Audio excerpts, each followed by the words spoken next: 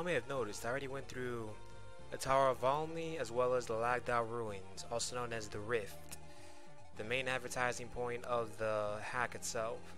But now we're going up against someone that beat us earlier. Remember, the Melkaen Coast in the original was basically the best skirmish spot in the game. You can even get a member card and some rare items from here, if I remember correctly.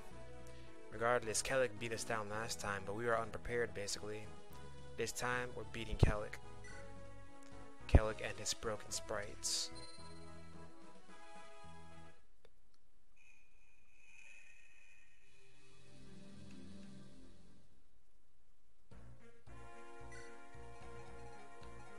Won't need you. I love you, Shell, but nah, right now I might just need you. Or in fact, we're gonna need Selah and Tethys. I'll probably drop jo Ross this time, keep Josh.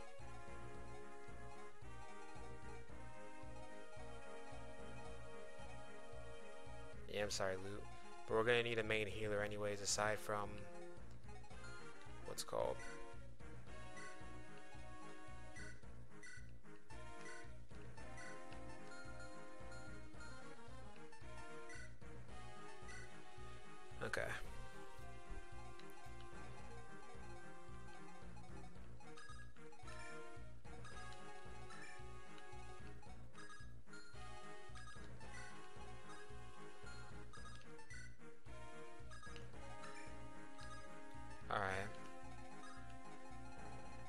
slowly start attracting attention with Myrrh all the way over there. It's a fight right there.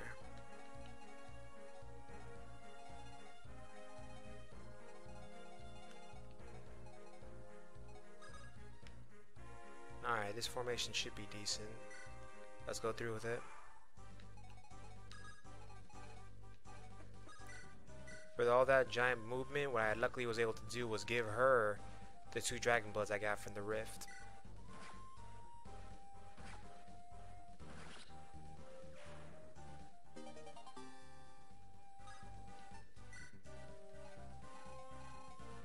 Good thing is not much can damage um, Myrrh.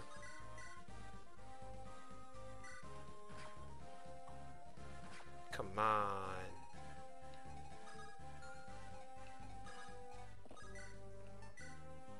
Yeah, 97% chance to crit.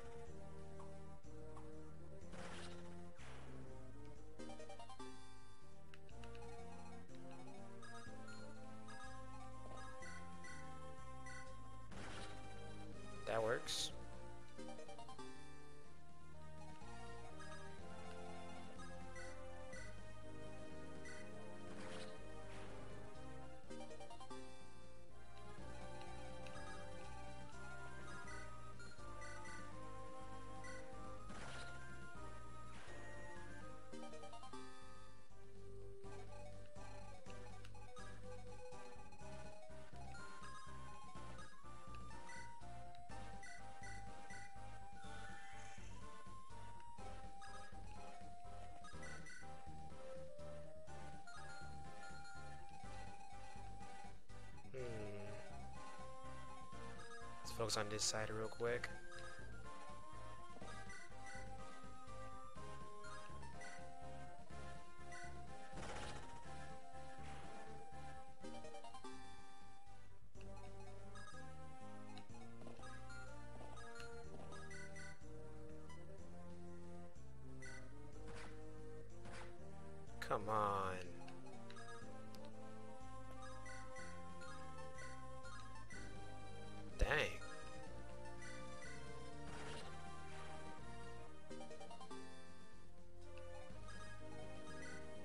Basically relying upon these sacred weapons.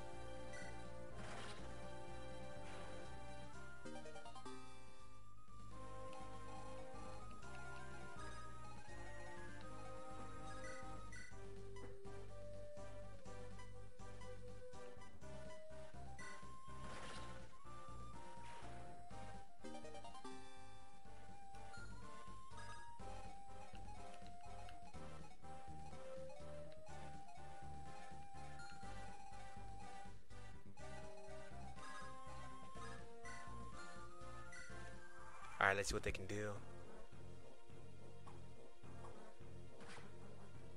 Come on, L'Arachel. Gotta learn the art of the crit.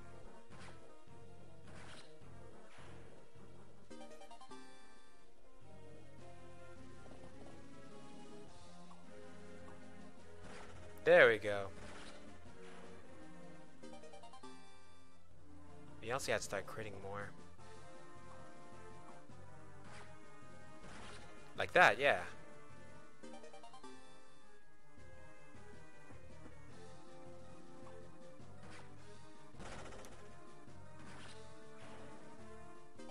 And with low percentage to hit, we should be good.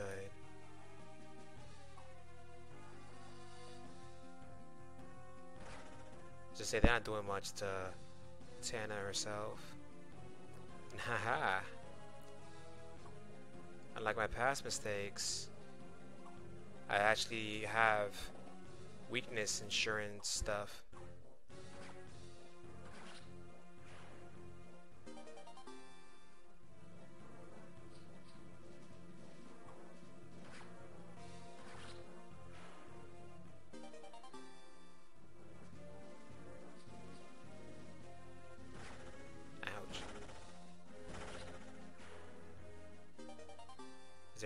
Attackers then?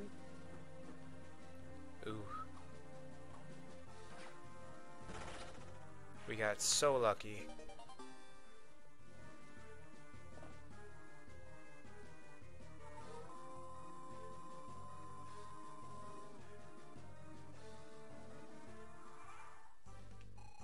That's quite the restore rate.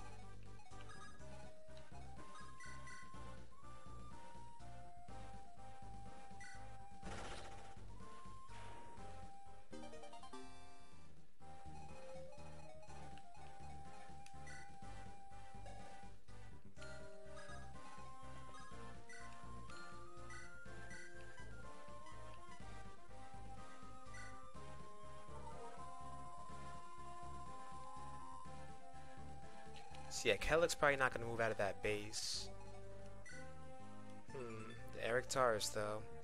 It, unlike other characters, he actually had this specifically forged for himself. It allows for him to use the Ethereum thing he has on him, that necklace that houses his friend's soul or whatever. Basically, they fight together in a sense, where he let he gives Kelik power, which is what this is probably a reference to the Aetheryte. The Fairy King carries a huge weight. I don't think Kelik's the Fairy King, but with a default crit rate of 72, 237 hit, 115 evade, and a 1-3 range, as well as a 56, 56 attack, he's too strong. Also to add insult to injury, he's got 20 con for no reason. But Narictaris only weighs 9 pounds. Can handle the strong's toxic. It has everything from Tempest, basically Tempest Assault and Braveheart. Ugh. It's a deadly combination right there.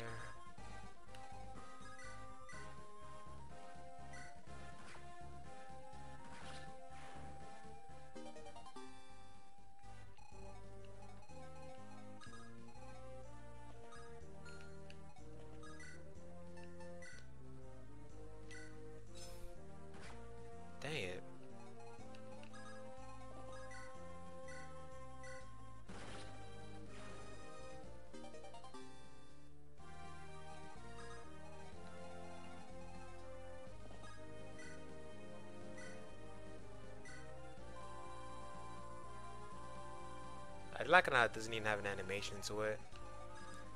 That's pretty funny.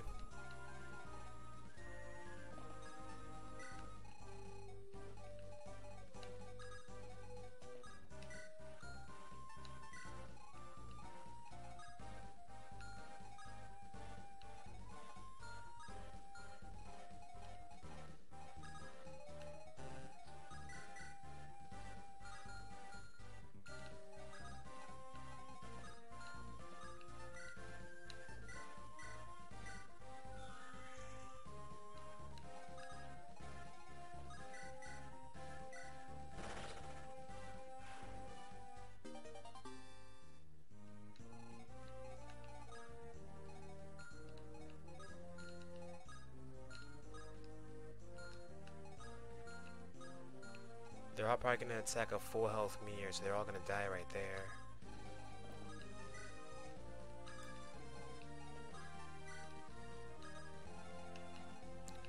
Whereas we gotta be careful about Kelik himself. The good thing once again is the fact that Kelik does not move.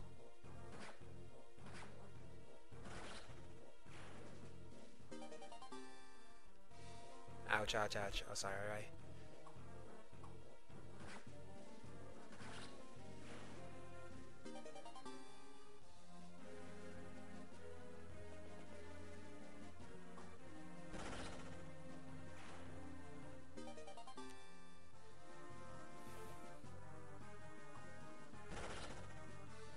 These crits, they fuel me.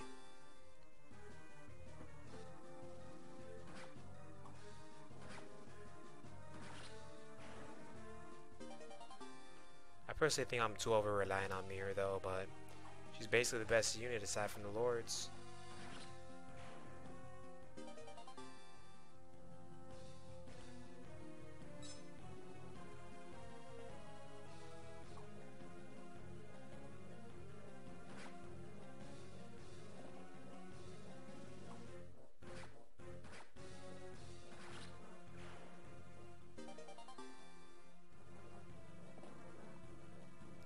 Alright, that takes care of these guys.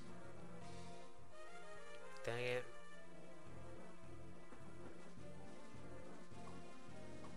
But I have another. Actually about a whole bunch just in case.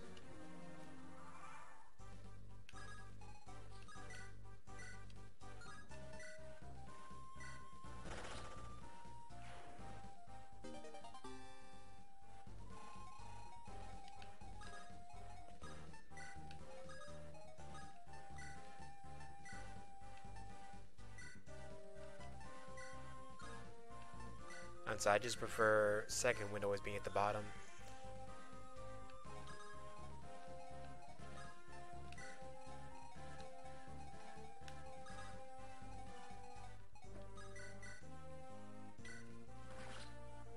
Okay, that takes care of him.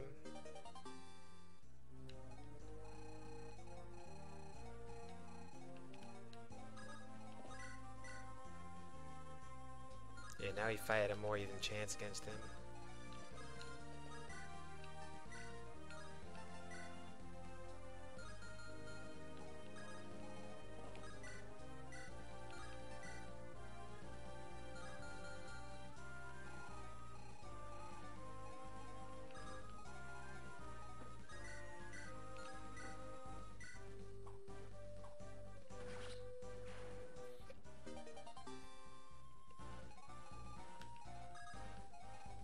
Slowly get back up there. I'll probably just go this way, Name since unfortunately, what's it called? One, two, three.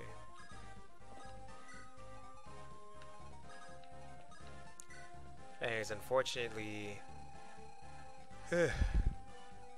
nothing surviving Kelik.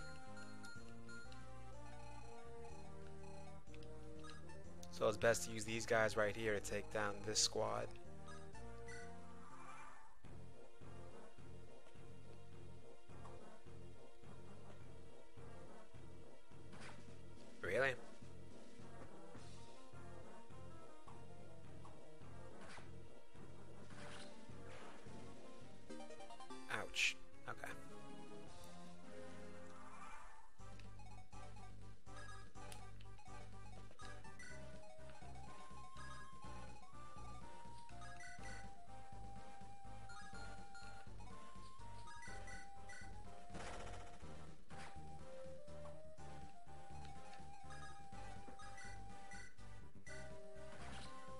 Nice. I love that piercing hit. Only we could hit Kelik with that. For now, you probably can't.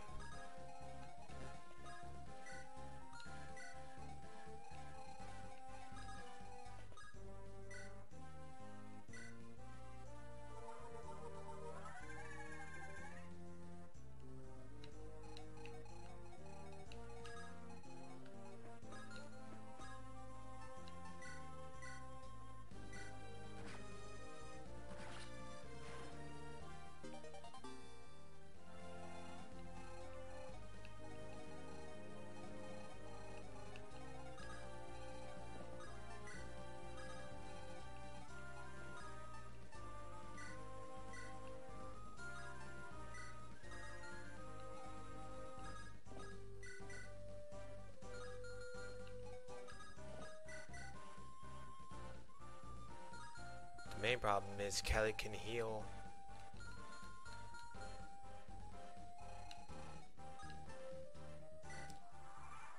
We'll have to wait on that. Take down these guys from this side.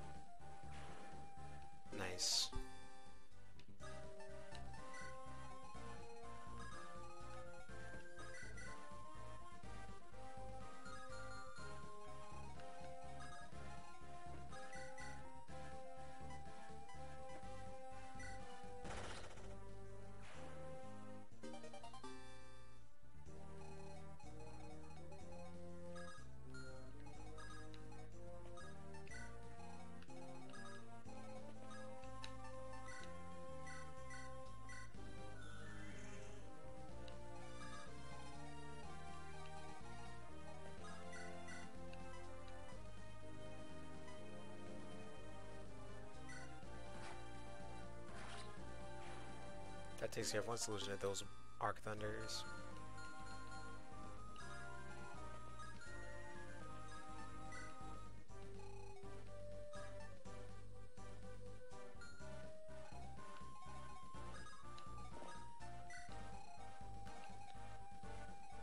One, two, three. We're good. But now I think Kelly's attack range. Really? Zero, zero, zero? Why would he attack? Because the enemy's AI is hardwired to attack.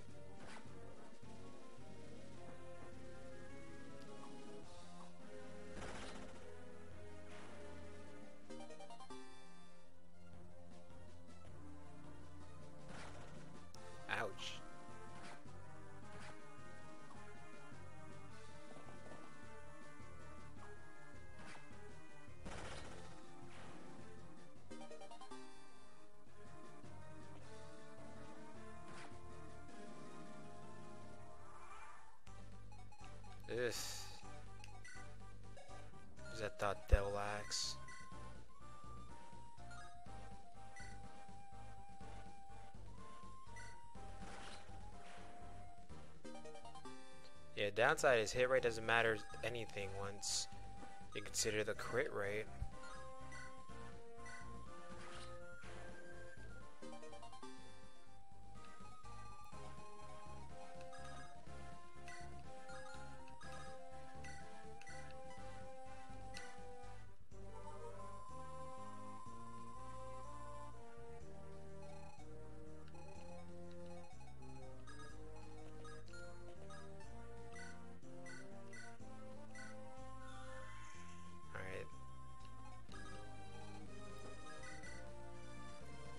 So she can take this guy down.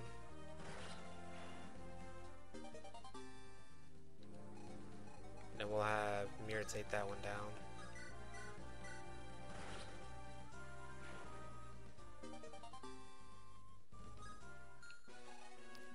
Now we have left is Kelik himself.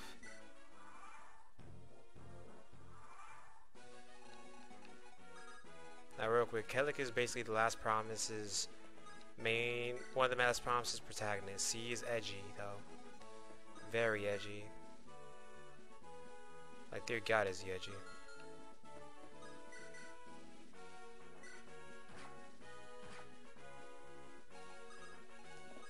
He basically is a leader of the Legend Mercenaries. His class is even Legend. He's basically an OC or literal anime protagonist put into a Fire Emblem game. What I remember, he doesn't really have much development to him.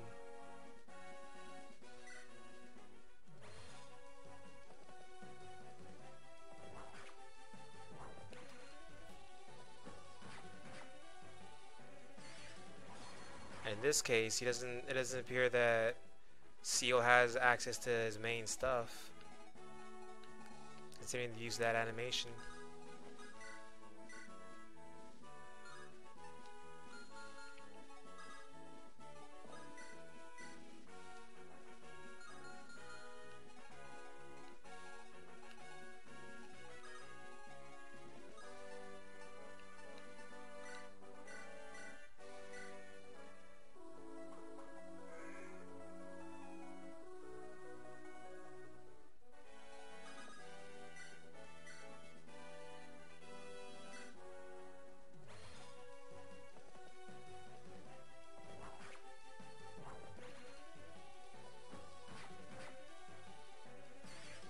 Like the idea that he's so fast he can do that to you though.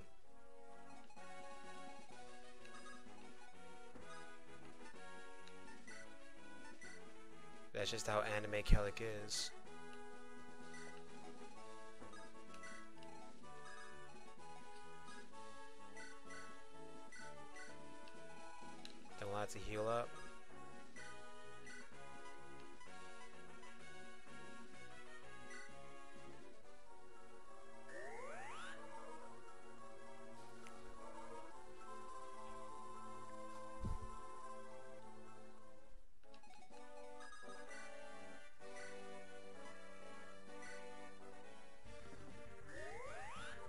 Has a different battle theme for this thing?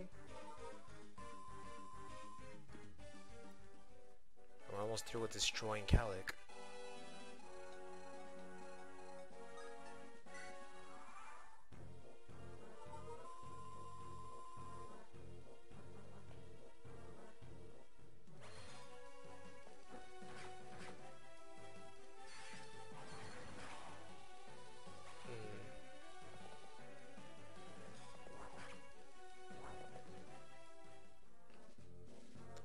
Wonder if his critical is that same one, you know, the one where he does, he goes super fast, makes after images, and then it's like, douche, douche, douche, douche, douche. Then it does like three little after images, like it glitched. I don't even know what that critical was. I don't want to know. Regardless, looks like we beat Kelik.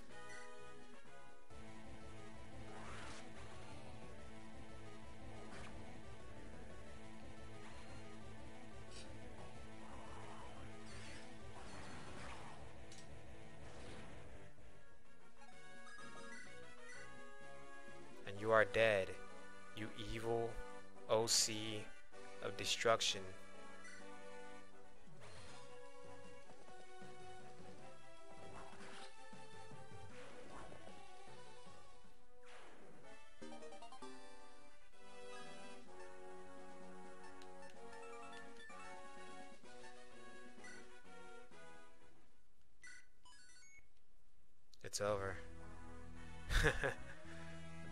Part early just because of that. The next time, we'll officially start the final part of the game, the Super Dungeon. But for now, thank you all for watching. Until the next part, goodbye.